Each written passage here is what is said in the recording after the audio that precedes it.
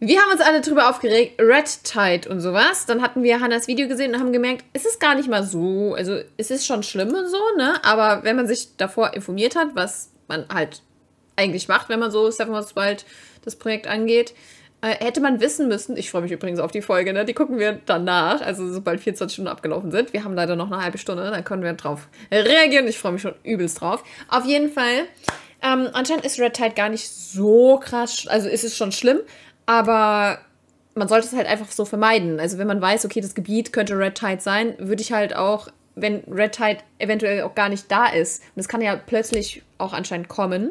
Aber ich denke, der Biologe klärt uns komplett darüber auf und wir gucken einfach mal so, was, äh, was er so sagt. Denn er wird die meiste Ahnung haben. Deshalb, let's go. Jetzt lernen wir ein bisschen was. Die gefürchtete Red Tide bei Seven vs. Wild. Wir werden Sorry, ich habe wie jedes Mal den Fehler gemacht, dass es bei mir viel zu laut ist. Bei euch ist es ganz normal, bei mir ist es wieder viel zu laut. Okay. jetzt klären, was da wirklich vor sich geht und ich werde dir alles über die Red Tide verraten, was du wissen musst. Geil. Und ob sowas auch hier in Europa passieren kann. Was ist Okay, das interessiert mich, ob das wirklich auch in Europa, Europa passieren kann. Meint ihr, das kann auch in Europa passieren?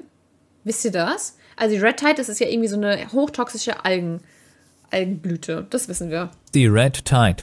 Wenn sich bestimmte Mikroorganismen im Wasser so stark vermehren, dass sie das Wasser verfärben, spricht man von einer Algenblüte. Diese Algenblüten können grün sein, sie können aber auch braun oder türkis sein oder eben auch rot. Die rote Verfärbung des Wassers wird hauptsächlich von einem Einzeller mit dem Namen Carenia brevis verursacht und wird umgangssprachlich auch als Red Tide bezeichnet. Viele dieser Mikroorganismen können auch Toxine produzieren. Diese Toxine können sich in der Nahrungskette anreichern, wodurch verschiedene Lebewesen, die sonst essbar sind, giftig werden können. Zum Beispiel bei den Muscheln. Und wenn dann ein Mensch herkommt und so eine Muschel isst, kann er sich eine Vergiftung holen. Nice. Nicht alle Algenblüten müssen immer gefährlich sein. Es gibt auch harmlose Algenblüten, in die Boah, aber sowas, guck mal, dieses grüne Zeugs, sowas gibt es auch manchmal auf Seen. Ist es dann auch so eine Algenblüte oder was? Oder krass, weil es gibt manchmal auch so grüne Seen. Kennt ihr das? Ich habe immer gedacht, das ist einfach Natur und so. Ich wusste nicht, dass es giftig ist. Dürfte man da auch schwimmen so drin? Das ist, also Muscheln essen und sowas haben wir ja gelernt, sollten wir auf keinen Fall. Ja, auf Seen gibt es die auch. Ah, krass, okay. Verstehe. Crazy. Alle Algenblüten müssen immer gefährlich sein. Es gibt auch harmlose Algenblüten. In diesem Video konzentrieren wir uns aber auf die gefährlichen, auf die sogenannten toxischen Algenblüten. Unter welchen Umständen kommt eine toxische Algenblüte zustande? Häufig ist es ein ganz bestimmtes Zusammenspiel aus Nährstoffangebot und Temperatur im Wasser. Generell kann Ach, krass. Oh mein Gott. Verstehe. Man sagen, dass ein hoher Nährstoffgehalt in Kombination mit hohen Temperaturen die Entstehung einer Algenblüte begünstigt. Wenn beispielsweise Abwasser in das Meer geleitet wird, haben wir ein solches erhöhtes Nährstoffangebot und dann ist die Gefahr einer toxischen Algenblüte auch erhöht. Also lieber kein schmutziges Abwasser ins Meer leiten. Habt ihr gehört? Sascha hat ins Meer gepinkelt. Er ist dran schuld. Nein, Quatsch. Aber ihr wisst, ne? Behörden kann es auch verbieten, wenn es bedenklich. Was? Was kann die Behörde bi- verbieten? Der Natur kann sie ja nichts verbieten, die Behörde. Hast du das verstanden? Man kann Oh mein Gott, Joey Vogel mit der ganzen Zuschauerschaft, als er uns erklärt hat, dass Fritz sein Wasser und Martins Wasser trinkbar gewesen ist. Stellt euch vor, das hier, Joey Vogel, das hier, wir. Hast du das verstanden? Man kann Ich habe es immer noch nicht verstanden. Wir müssen uns das zweite Video angucken, weil mir wurde gesagt, das ist irgendwie ein wenig äh, verständlicher. Also ich habe es echt versucht zu verstehen, ne? Aber ich habe nicht so viel mitgenommen. Ich habe nur verstanden, das Wasser wäre irgendwie doch eventuell trinkbar gewesen, aber das war schon sehr. Aber es war sehr informativ. Für Leute, die wahrscheinlich in dem Thema drin sind, war es geiles Video. So, aber für Leute, die es halt nicht verstehen wie ich, war das ein bisschen schwierig. Na, egal, weiter geht's.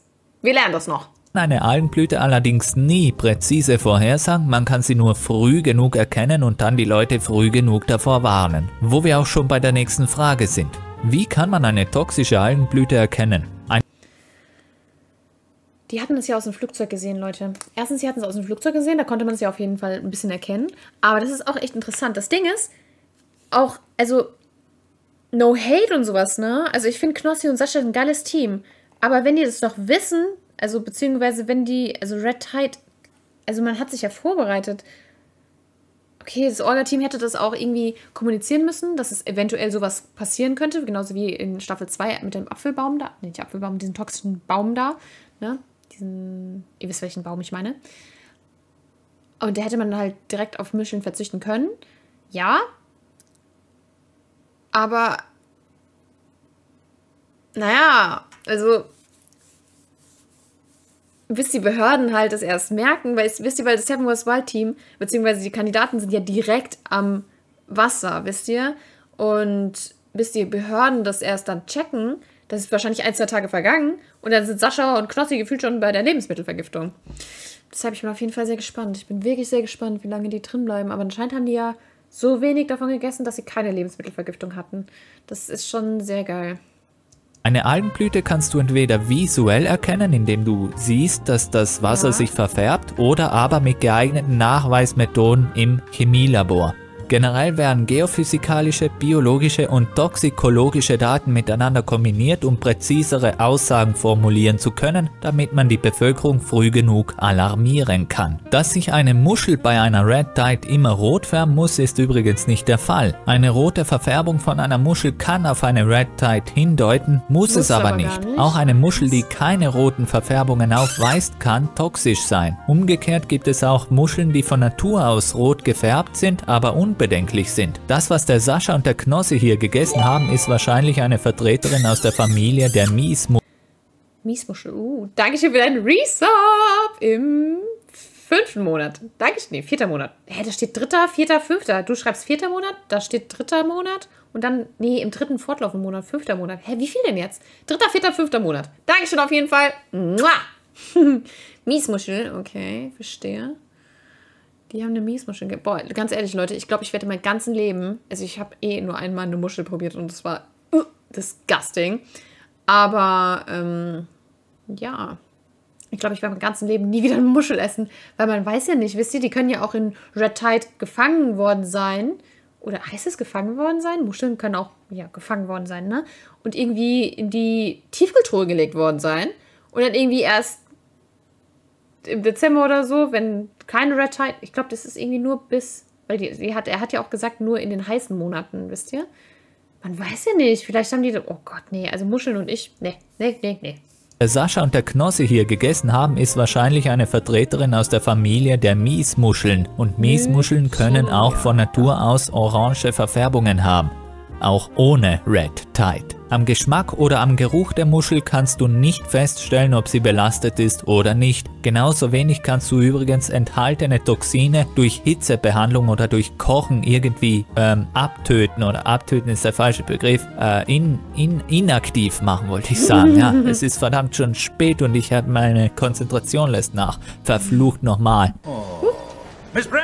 Ja? Schnell ein Taschentuch. Diese Toxine sind hitzestabil, ja? deswegen hilft Kochen gar nichts. Übrigens gilt das nicht nur für Muscheln, sondern auch für andere Meerestiere. Auch in Fischen oder Krebstieren können sich solche Toxine anreichern. Hä, aber wir haben doch gelernt, dass Krebs nicht drin ist. Oh mein Gott, gehen die Mädels doch raus? Die haben doch so einen fetten Krebs gegessen. Ich dachte, den Krebsen ist es nicht. Deswegen habe ich auch in einem meiner letzten Shorts, wo ich darüber Warte, stopp, stopp, stopp, stopp. Das muss ich nochmal verstehen. Ich habe gedacht, das ist nicht drin. Wartet mal. nur für Muscheln, sondern auch für andere Meere. Hey, kann es sein, dass ich irgendwie schneller eingestellt habe? Nee, okay, gut. Das ist ganz, ist ganz normal. Okay. Komisch, wartet mal. Es gilt nicht nur für Muscheln, sondern für andere Meerestiere wie Fische und Krebse. Die Mädels haben Krebs gegessen, Leute. What? What, what, what? Deswegen hilft Kochen gar nichts. Übrigens gilt das nicht nur für Muscheln, sondern auch für andere Meerestiere. Auch in Fischen oder Krebstieren können sich solche Toxine anreichern. Deswegen habe ich auch in einem meiner letzten Shorts, wo ich darüber gesprochen habe, wie man bei Seven vs. Wild hier zu Nahrung gelangen kann, vor der Red Tide gewarnt.